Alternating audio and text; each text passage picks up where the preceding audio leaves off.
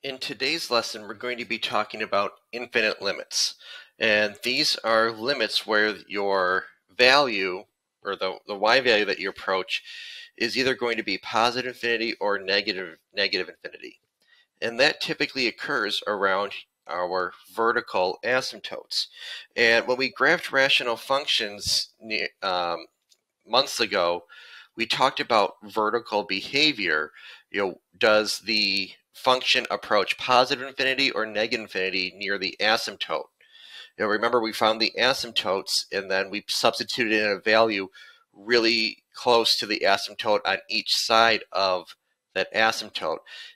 And it's it's similar to what we did up here where we substituted a value close to 2 on either side of 2 because the limit was as x approaches 2. So we're going to use that same concept with our vertical behavior here. So it says find the vertical asymptotes and the vertical behavior at those asymptotes.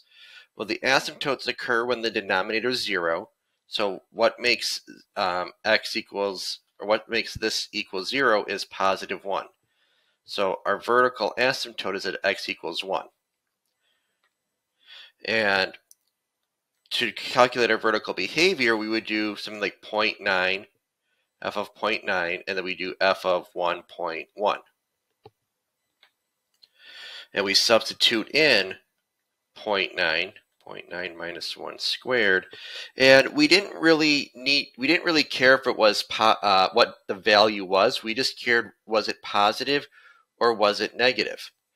So it'd be 1 over 0.1 uh, sorry, negative 0.1 squared, which would be give us a positive value, right? 1 over um, a negative squared. Well, the negative squared is going to be a positive number, so we know it's going to give us a positive result.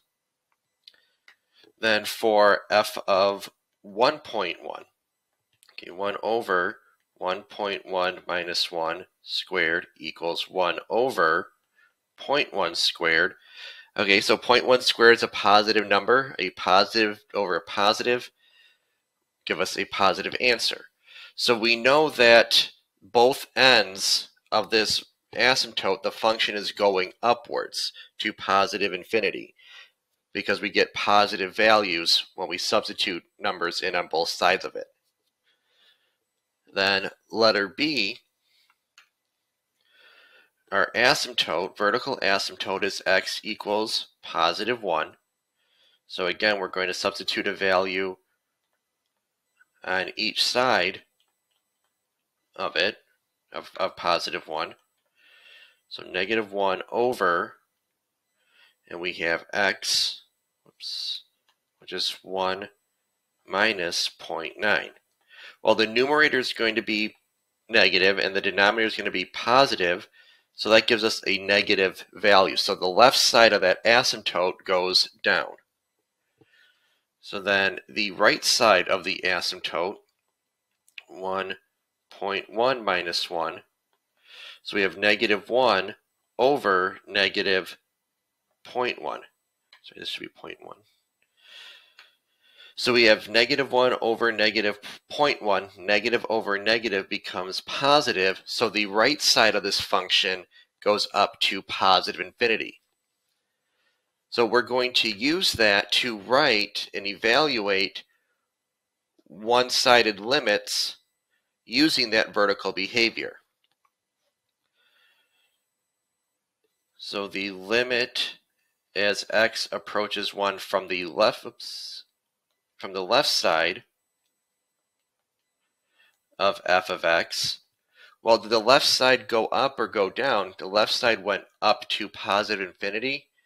So the limit as x approaches 1 from the left side will be positive infinity. Then the limit as x approaches 1 from the positive side or the right side Okay, it was a positive value, so it's going to go up to positive infinity. And then for letter B, the limit as x approaches 1 from the left side of f of x. Well, the left side went down,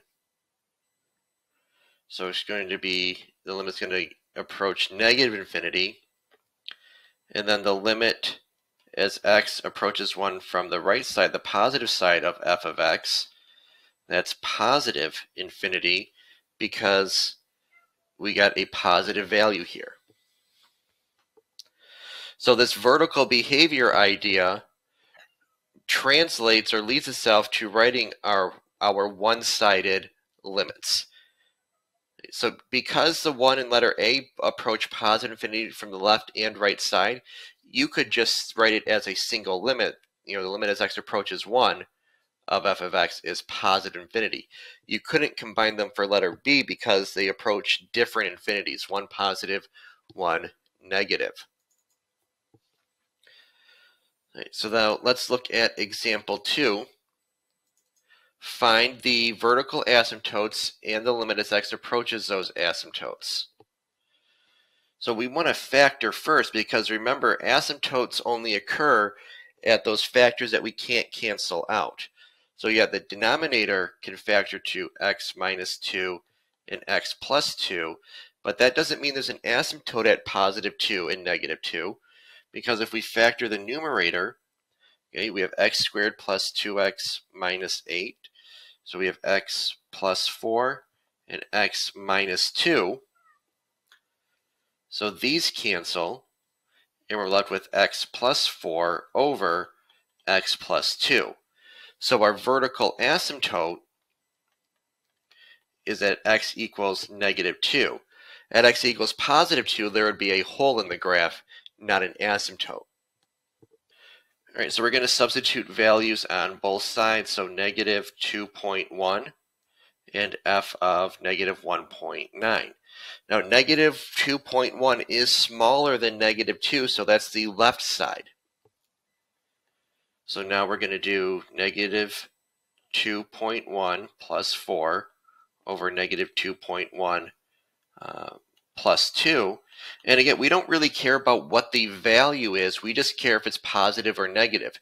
The numerator, negative 2.1 plus 4, yes, you could calculate that if you wanted to, but we know it's going to be a positive number.